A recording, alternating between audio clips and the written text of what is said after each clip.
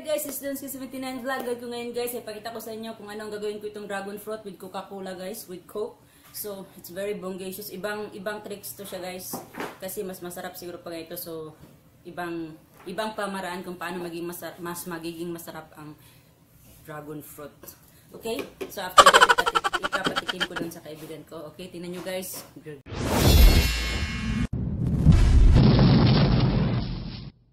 First, balatan muna natin tong dragon fruit guys ng bonggang-bongga. Prepare natin tong mga kagamitan kasi magalit tong kaibigan ko pag mag magiging marumi dito guys at mapula-pula tong mesa table niya so magagalit siya sa akin eh. So ito lang siya guys para magiging bongacious. Balatan natin ng ganyan at saka malinis, maayos, whatever. Ah, ganyan na siya guys. Ah, gonna be very kasi pag ito siya guys, mahirap to siya pag ganito eh. Kasi makalat siya. So, ganyan na siya guys. Look at, not, wag niyong i-slice ng pinong-pino, pakunti-kunti lang siya guys para maging masarap. Kasi pag durugin siya, hindi siya masarap guys eh. Pag durug, durug siya. So, ganyan na siya guys. Like that. Slice it in cubes. Para bongacious siya. Oh. Nahugas ako ng kamay ha. It's very delicious. Look, very delicious. The This dragon fruit is very healthy, good for our body. Like that lang siya guys. Ganyan. So, na-slice ko na siya into cubes and look at my hands. Oh, very dangerous and like that lang siya guys. So, ito na siya guys. And ilagay ko lang siya sa refrigerator maybe 5 minutes or 10 minutes na magiging ano siya, magiging a little bit yellow na siya, magiging ice siya ng konti. So, wait for a moment and tingnan natin guys magiging ano magiging resulta niya kung magustuhan ba ng kaibigan ko hindi. Yun na guys while waiting sa dragon fruit na magiging medyo matigas siya for 5 minutes or 10 minutes magiging malamig siya guys. Yung kaibigan ko busy busy sa paglinis ng mga kapulukuyan dyan or mga kasi yung anak niya punta daw dito hospital very bongacious and dragon fruit with Coca-Cola. So, shout out muna ko dyan sa mga friends ko, sa my YouTube team, my subscribers, my friends, mga loyal friends, and, you know, alam niyo na kung sino kayo. So, abangan niyo ako guys sa aking magiging bongacious na dragon fruit with Coke. Okay? This is Donsky79 Vlog, exploring and experimenting. Kakaloka. So, ito na yung dragon fruit natin guys. Okay na siya. Medyo matigas na siya kasi nilagay ko na sa ref ng within 10 minutes. So, nagiging yellow-yellow na siya. Nagiging ice na siya ng konti-konti. So, itong coke, i-open na natin siya para magiging bonggisyo siya. Oh. And, lagay lang natin siya guys. Or something like that. Bumubula-bula pa siya guys. Look at, bumubula-bula siya guys. And it's very, is very different style of dragon fruit. Imbis na or instead na ilagay natin yung milk, magiging iba tayong, mayroon tayong matikman na ibang lasa guys. Dragon fruit with coke, buong bula-bula siya guys. So, yun na, and just add a little sugar para magiging mas lalong matamis siya. Ano kayang kahinat na nito?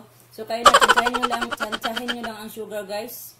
Kung ilang spoon ang ilagay nyo, whatever, kung gusto nyo matamis or hindi matamis, so don't add sugar or kung gusto niyo pinakamatamis, dagdagan niyo yung pinakamaraming sugar. Kung gusto niyo ng bongacious or more coke, then add more coke. Diba? So, it's gonna be like that. Mix it. it's gonna be very tasty. Really, it's very bongacious and gonna be a little bit different style of dragon fruit Coca-Cola with dragon fruit. Dito mabibili sa market guys. Wala kayong makita ng mga ganito. This is Donsky 79 vlog style. So, it's very yummy, tasty. Ibang, ibang flavor, ibang experiment ko ngayon guys. Kasi yung gatas halos, ano siya eh, very common. So, it's gonna try this Coca-Cola with, with dragon fruit. So, it's gonna be very we try another different style so that's gonna be very bongacious and Hindi ito mabibili kahit sa ang supermarket. Wala pa akong na-try na ganito na style, guys. So, this is only the original. My original style. Mix lang natin, guys, ng tudong-tudo until magiging very tasty siya. Like that. And like that, like that. Mix it. Very bongacious. And like that. So, oh. Kung sa tingin nyo guys, hindi pa kasi yung sugar, just add sugar. kung mayroon, marami kayong sugar guys or whatever. So, but take note of, you know, uh, diabetic or diabetes. So, if you are, uh, you have a diabetes, so don't eat very sweet foods. Avoid eating sweet foods like that. So, it's gonna be, oh, Ayun guys, ang panahon sobrang init, nakakaluka talaga. So kailangan natin kumain ng mga malamig or whatever, mga something new sa ating pangatawan kasi sobrang init ngayon guys. Kasi iwan ko summer na summer dito sa Taiwan, sobrang init talaga, nakakaluka. So, yun na nga guys, tikman na natin. Yun na guys, tapos na guys. So this is the testing testing part na tayo. I-try natin kung masarap ba siya o hindi. So, pag, pag, ano, pag hindi siya masarap din another try. But nagiging pula siya guys. This is very healthy for our body. Look at the ang coke guys, nagiging pula na siya, hindi na siya nagiging black. So, isit aside mo natin dyan kasi habang nasa tayo yung laway, tumatalsik-talsik yan, hindi natin nalaman. So, yung kaibigan ko guys, kumakain, kakain pa yun. So, isit aside natin yan. So, sabi niya, hindi na siya kakain kasi yung laway, talsik-talsik na yun. Kaloka talaga. So, Tingnan nyo, ay, lahat ng pagkain ayaw niyang kainin yan guys, nakakaluka. So tingnan nyo, ang Coca-Cola guys, na, nawala na yung color black na Coke eh. Nagiging red na siya guys. So tikman na natin. It's very delicious. Matamis. At saka nandun yung lasa ng Coca-Cola. Nandun yung lasa ng dragon fruit. So nagiging tatlong lasa na siya guys. Lasa ng matamis na asukal, lasa ng dragon fruit, at saka lasa ng Coca-Cola. At saka para magiging bonggesyo siya guys at pwede na natin gawing hapunan kasi sobrang init talaga ang hirap na dito ito guys so I hate hugs talaga so with bread gonna be very tasty and binigay lang ito ng kaibigan ko itong bread na to guys kasi preparation for his you know pinakamamahal na anak niya is coming soon so gonna be very delicious yun nga guys kalat ako mamaya magalit yung kaibigan ko eh. Masarap talaga siya guys. As in, so, i-try nyo guys para maging masarap siya. Para ano, iba na naman, iba ang lasa guys ng dragon fruit pag lagyan nyo ng coke at saka sugar. Masarap talaga as in.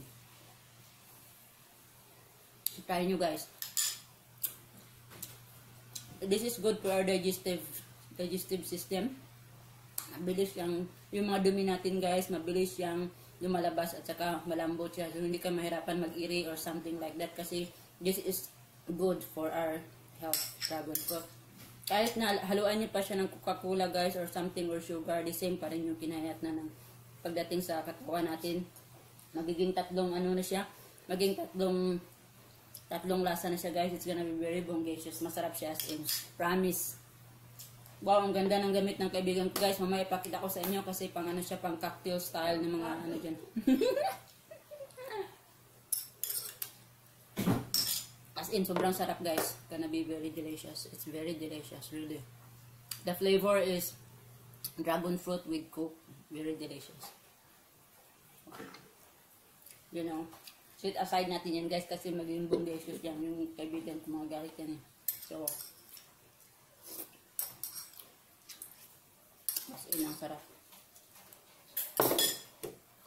Pero yung coke guys, hindi siya full. Hindi, hindi ko inubos yung one, one can talaga. Siguro mga half lang. Half lang yung nilagay ko guys kasi pag marami na so mawala na talaga yung lasa ng dragon fruit. Kailangan mag, mag ano yun guys, mag-combine yung lasa ng dragon fruit at lasa ng coke and with sugar para magiging mas, mas masarap siya at saka manaig yung yung health yung healthy yung lasa ng dragon fruit manaig siya guys pag hindi niyo ihalo lahat yung Coca-Cola magiging mas more healthy pa, uh, mayroon pang healthier ang dragon fruits guys. Magiging ano yun siya, ang tawag doon. Hindi ko alam kung ang tawag doon. Basta yun na yun guys. I-try nyo guys para magiging matry nyo kung ano ang lasa ng dragon fruit with Coca-Cola with sugar. This is Donsky 79 vlog style. This is Aladonsky style na how to how to make different style of dragon fruit para magiging bongacious yan. Masarap. So, yun na guys. Magiging bongacious ang araw nito kasi nandito ako sa bahay ng kaibigan ko. So, akala ko kasi dumating na yung ano niya eh, pinakamahal niya ng mga ano dyan, mga bongacious na family niya. So, yun nga guys. This is my experiment for today. Dragon fruit with Coca-Cola and with sugar. This is Donsky79 Vlogs is used to sports and not to drugs. Don't forget to like, comment, and subscribe to my channel Donsky79 Vlog. And thanks for watching. God bless. Bye! Mga tira guys, binanatan ng kaibigan ko. Kaya sobrang sarap yan lang natira. Ayaw niya pa-video kasi private person siya.